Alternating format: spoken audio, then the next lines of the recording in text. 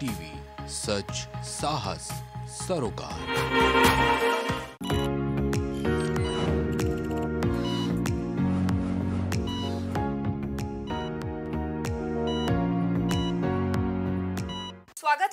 Prime TV में मैं हूँ आपके साथ मयूरी श्रीवास्तव। जैसा कि आप जानते हैं हम अपने खास कार्यक्रम हेल्थ मंत्रा में लगातार बताते हैं कि बीमारियों से कैसे बचा जाए। और इसी कड़ी में आज हमारे साथ आयुर्वेद चिकित्सक श्री यश दुबे हैं। सर बहुत बहुत स्वागत है आपका प्राइम टीवी के खास कार्यक्रम में। जैसा कि सर आज के 20 साल पहले थायराइड और कई ऐसी बीमारियाँ हैं जो नहीं होती थी और आज के दौर में बहुत तेज़ी से बढ़ रही हैं। क्या कारण है? बिल्कुल। आज के समय में हम लोग देख रहे हैं, जो व्याधियाँ 20 साल पहले, जिनका नाम भी नहीं था, आज वो बहुत आयत में पाई जा रही हैं। उसके पीछे कारण क्या है? हम लोग के जीवन में तीन चीज़ें बताई गई हैं, जो लाइफ के उपस्तंभ हैं, आहार, निद्रा और ब्रह्मचर्य। लेकिन हम लोग क्या उसको कहाँ तक पालन कर पा रहे हैं, ये बहुत मायने रखता है। सर्वप्रथम जो पहले आहार की क्वालिटी थी और अभी जो आहार की क्वालिटी है, दोनों में ज़मीन आसमान का फ़र्क हम लोग देख रहे हैं। पहले आहार जो था वो सीज़न के अकॉर्डिंग जो अवेलेबिलिटी थी, उसको हम लोग सेवन करते थे।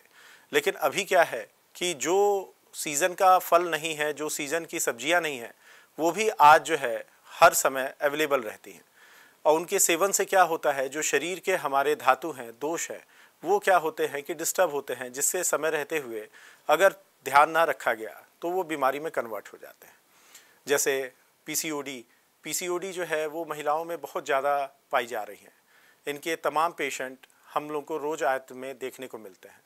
पीसीओडी मेन समस्या क्या है कि वो मानसिक एक व्याधि है, जो धीमे धीमे चल करके शारीरिक व्याधि में कन्वर्ट हो जाती है। आयुर्वेद में बताया भी गया है कि यदि कोई मानसिक व्याधि ज़्यादा दिन तक रहती है तो शारीरिक व्याधि में कन्वर्ट हो जाती है। इसके लिए हम लोगों को विशेष रूप से ये ध्यान रखना चाहिए कि जो आहार हम ले रहे हैं, जिस समय ले रहे हैं, क्या वो सही है? यदि वो सही है तो हम लोग को कोई भी रोग उत्पन्न नहीं होना चाहिए। सर कोरोना के दौरान लोगों का आयुर्वेद के प्रति कुछ ज़्यादा ही झुकाव देखने को मिला। क्या कारण रहा? हाँ क्योंकि आयुर्वेद एक ऐसी विधा है जिसमें प्रिवेंटिव और क्यूरेटिव दोनों प्रकार की विधाएँ जो है उत्पन्न है। तो प्रिवेंटिव ट्रीटमेंट के लिए भी जिनको रोग ना हुआ हो और रोग होने से बचना चाहते हैं उनके लिए भी बताया गया है कि हम लोग को समय समय पर अपना जाँच कराना चाहिए और जो शरीर में यदि कोई एसिम्टोमेटिकली अगर कोई ब्लड टेस्ट में या अन्य चीज़ों में कोई समस्याएँ उत्पन्न हो रही हैं तो उसका समय रहते हुए निवारण करना चाहिए। लेकिन आज के समय में कौन इतना ज़्यादा अपने व्यस्त जीवन शैली से समय निकालता है? सबके लिए काम प्रियोरिटी होती जा रही है और सेहत जो है वो सेकेंडरी होती जा रही है। कोरोना के टाइम पे भी ये चीज़ लोगों के अंदर ये भाव जनरेट किया कि पहले शरीर है, क्योंकि जीवन की तीन ही ऐषणाएँ बताई गई हैं। पहली प्राण दूसरी धन, फिर तीसरी जो है वो परलोक बताई गई है। और बताया भी है आचार्यों ने कि यदि प्राण रहेगा तभी धन और परलोक की इच्छाएँ पूर्ति होंगी। तो सबसे सबसे पहले हम लोगों को सब चीज़ का ध्यान छोड़ करके अपने शरीर की चिंता करनी चाहिए। कोरोना टाइम पे जब लोगों को इस प्रकार की व्याधियों से ग्रसित हुए, जिसमें लोगों के प्राण जाने की जो है वो नौबत आ गई, तब लोग जो है इसके प्रति, अपने सेहत के प्रति काफ़ी ज़्यादा सचेत हुए। और उसके बाद से फिर जब उन्होंने ट्रीटमेंट खोजना शुरू किया तो उनको आयुर्वेद में इसका उपचार मिलना शुरू हुआ, जो प्रिवेंटिव बेस पे बहुत ज़्यादा कारगर निकला, जिससे लोगों को आयुर्वेद के प्रति आस्था बढ़ी और उन्होंने जो इस पैथी को पहले भी अपनाना चाहते थे, लेकिन कई विडंबनाओं की वजह से, कई धारणाओं की वजह से उसको समझते नहीं थे, वो समझ उनके अंदर डेवलप हुई और उनके अंदर आयुर्वेद के प्रति झुकाव बढ़ा। सर जिस तरह अभी देश प्रदेश में डेंगू का कहर देखने को मिल रहा है, हर तरफ़ हाहाकार मची हुई है। तो कैसे लोग आयुर्वेद की नज़र से इसका इलाज करें? हाँ डेंगू एक व्याधि है, जिसमें वेक्टर जो है वो मच्छर है। अगर हम लोग पॉजिटिव फैक्टर देखिए, कोई भी बीमारी का ट्रीटमेंट जो है, वो तब तक नहीं हो सकता जब तक उसके कारण का हम लोग निजात ना करें। तो सबसे पहले तो हम लोगों को उसके कारणों से बचना है, और उसका कारण जैसा सभी लोग जानते हैं कि एक प्रकार का मच्छर होता है, जो जिसके काटने से ये व्याधि उत्पन्न होती है।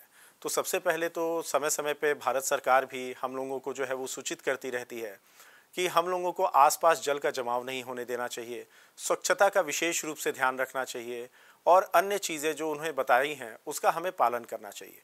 यदि इन बातों का हम विशेष रूप से पालन करते हैं तो हम इस बीमारी से बच सकते हैं। यदि ये बीमारी ग्रसित कर भी लेती है, अपने चपेट में ले भी लेती है तो इसके सिम्टम जैसे सबको पता है कि फीवर आना फीवर क्या रहता है कि इसका कभी तेज आता है, कभी कम आता है और साथ में क्या है कि बॉडी में पेन होता है। तो ऐसे में तुरंत किसी एक अनुभवी चिकित्सक से परामर्श लेना ज़रूर ले ले, क्योंकि आज के समय में देखे, देख रहे हैं हम लोग कि यदि किसी को बुखार होता है तो सबसे पहला स्टेप ट्रीटमेंट का उसका होता है कि वो जाता है एक मेडिकल शॉप पे और मेडिकल शॉप से पहले ट्रीटमेंट लेता है। उससे भी पहले वो स्वयं चिकित्सक बनता है। उसके बाद जा कर के अगर व्याधि जो है वो नहीं समझ में आ रही है, नहीं कंट्रोल में आ रही है, तब किसी चिकित्सक के बारे में सोचता है। तो ऐसे में हम लोग को सबसे पहले ये देखना चाहिए कि यदि इस प्रकार की कोई समस्या आज के समय में आ रही है तो हमें एक अनुभवी चिकित्सक से परामर्श लेना चाहिए। अपने स्वयं से घर पे ट्रीटमेंट लेने का प्रयास बिल्कुल नहीं करना चाहिए। उसके बाद जब वो ट्रीटमेंट लेते हैं तो उनको समझ में आता है कि क्या ये व्याधि वाकई में जो है वो डेंगू है या अन्य कोई है क्योंकि इसके चिकनगुनिया से भी सिम्टम मिलते जुलते हैं। दोनों में जो है वो जॉइंट्स पेन पाया जाता है। तो ऐसे में हम लोगों को उसका त्वरित निजात पाने के लिए हम लोगों को जाना चाहिए चिकित्सक के पास और उनसे परामर्श लेना चाहिए। साथ ही में जो आयुर्वेद के परिप्रेक्ष्य से आपने पूछा आयुर्वेद के परिप्रेक्ष्य से हम लोगों को अपनी दिनचर्या जो है और भोजन शैली जो है, उस पर विशेष रूप से ध्यान रखना चाहिए। जैसे किसी को ज्वर होता है, बुखार होता है तो उसको सबसे पहले एक व्यक्ति के अंदर एक सेल्फ इम्यूनिटी रिस्पॉन्स होता है कि यदि वो अपने आहार विहार ठीक करता है तो उससे बुखार से निजात पा सकता है। उसके लिए क्या आयुर्वेद में शब्द बताया गया है? दीपन और पाचन बताया गया है। यदि दीपन और पाचन अर्थात लघु आहार करना, लघु आहार मतलब ऐसा नहीं है कि जो खाने में इजी हो ऐसा नहीं। लघु आहार का तात्पर्य यह है कि जो सुपाच्य हो, जो आसानी से पच जाए, क्योंकि आयुर्वेद की जो कॉन्सेप्ट है, उसमें ये बताया गया है कि जिनको बुखार होता है, उनकी जो अग्नि है, जो भोजन पचाने की क्षमता है, वो छीण हो जाती है। ऐसे में हम लोगों को ऐसा आहार करना चाहिए, जो भोजन को सरलता से पचा ले और उसको जो है ज़्यादा से ज़्यादा मेहनत ना करनी पड़े। तो अगर हम लघु आहार का सेवन करते हैं, साथ में जो आम रूप में देख भी रहे हैं कि पपीते के पत्ती का रस है और बकरी के दूध के अंदर ऐसे गुण पाए गए हैं जो प्लेटलेट्स को बढ़ाने में सहयोग करते हैं। लेकिन मैं फिर से यही बात कहूँगा कि बिना चिकित्सक के परामर्श के इन चीज़ों का भी प्रयोग करना उचित नहीं है। सर, ऐसी कई बीमारियाँ हैं जिनकी दवाई निरंतर चलती है, चाहे वो हम टाइफाइड की बात करें या फिर शुगर हो, कई ऐसी बीमारियाँ हैं तो इसमें आयुर्वेद कैसे काम करता है? आयुर्वेद में जो इससे संबंधित बताया गया है कि यदि कोई व्याधि ज़्यादा दिन तक सेवन औषध का आप ले रहे हैं तो उसके पीछे कारण क्या है? वो क्यों नहीं कंट्रोल हो रही है? बिना किसी कारण के जो है कोई व्याधि जो है, वो रूप नहीं लेती है। तो इसका मतलब है कि ऐसे कारणों का सेवन अभी भी किया जा रहा है पेशेंट के द्वारा, जो उस फैक्टर को एग्रीगेट करने में सहयोग कर रही है। तो सबसे पहले तो हमें ये जानना चाहिए कि वो कौन से फैक्टर्स हैं, जिनकी वजह से व्याधि एग्रीगेट हो रही है। जैसा कि आपने बताया कि आज के समय में जो है डायबिटीज़ है और भी अन्य है हाइपरटेंशन है तो डायबिटीज़ के लिए सीधे ये सुझाव दे दिया जाता है या सुझाव भी किसके द्वारा? जो उनके कलीग हैं, जो उनके साथ वाले हैं कि आप आलू मत खाइए, चावल मत खाइए, इस प्रकार का मीठा मत खाइए। केवल इन्हीं से जो है वो शुगर नहीं बढ़ती है। शुगर बढ़ने बढ़ने का कारण जो है वो गुरु आहार है। गुरु आहार ऐसे आहार जो पचने में भारी होते हैं। क्योंकि डायबिटिक पेशेंट के डाइजेशन जो है वो वीक होता है। इसीलिए उनका बल का क्षय भी होने लगता है। और साथ में क्या होता है कि उनके शरीर में वीकनेस और शरीर का जो वेट है वो लॉस होने लगता है। तो ऐसे में, ऐसे आहार का सेवन उनको विशेष रूप से करना चाहिए, जिससे उनको अग्नि पे ज़्यादा से ज़्यादा प्रभाव ना पड़े और एक नियमित दिनचर्या, एक चिकित्सक के परामर्श से, लेने से उनको इन बीमारियों से जल्द से जल्द जो है वो कंट्रोल में आ जाएँगी। क्योंकि सारी बीमारियाँ जो है वो ठीक नहीं हो सकती। आयुर्वेद में भी बताया गया है कि व्याधियाँ जो है वो सुख साध्य होती हैं, जैसे वायरल फीवर हुआ, कुछ दिन बाद अपने आप स्वतः ठीक हो जाती हैं ध्यान रखने पे। उसके बाद फिर कृच्छ साध होती हैं, जो व्याधियाँ कुछ कठिनाई से साध्य होती हैं, जैसे इस समय डेंगू और स्टेज है अलग अलग व्याधियों के। और कुछ जो है वो याप्य बताई गई हैं। याप्य अर्थात कि जिनका जब तक आप ट्रीटमेंट लेते हैं, जब तक आप परहेज करते हैं, तब तक वो सही रहती हैं। लेकिन जब उसका ठीक से दिनचर्या या ऋतुचर्या का पालन न किया जाए तो वो समस्याएँ बढ़ जाती हैं। तो सर जैसे अब मौसम बदल रहा है ठंड आ रही है और कहीं कहीं कहीं ना कहीं बीमारियाँ भी आ रही हैं बिल्कुल आ रही तो आप आयुर्वेद की दृष्टि से क्या सुझाव देना चाहेंगे? हाँ ये बात बिल्कुल सही है आपकी कि जैसे जैसे मौसम बदल रहा है वैसे वैसे लोगों की बीमारियों की समस्या बढ़ती जा रही है। क्यों? क्योंकि आ, ऐसा कहा भी गया है कि जैसे जैसे हम नए नए इन्वेंशंस कर रहे हैं, वैसे व्याधियाँ भी अपने नए नए इन्वेंशंस कर रही हैं। और ऐसी व्याधियों के नाम आ रहे हैं जो नाम कभी सुने भी नहीं गए थे।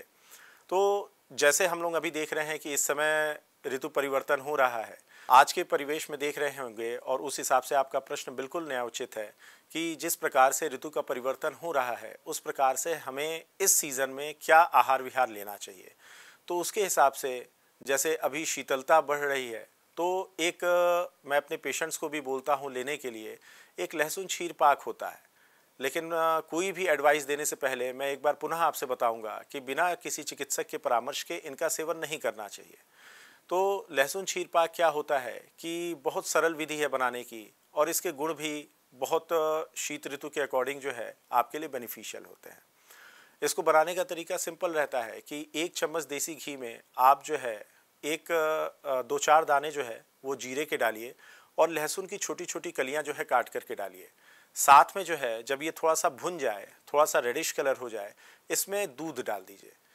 तो उसके बाद फिर जब वो थोड़ा बॉयल हो जाता है तो उसका सेवन करने से सुबह सुबह हम लोगों को ठंड जो है, वो थोड़ी कम भी लगती है। साथ में जो धातुओं का पोषण है, वो भी प्राप्त होता है। और एक प्रिवेंटिव मेज़रमेंट के थ्रू हम लोग इस ऋतु में होने वाली अन्य व्याधियों से किसी न किसी स्तर पे बच सकते हैं। सर प्राइम टीवी के माध्यम से हमारे दर्शकों को क्या कहना चाहेंगे?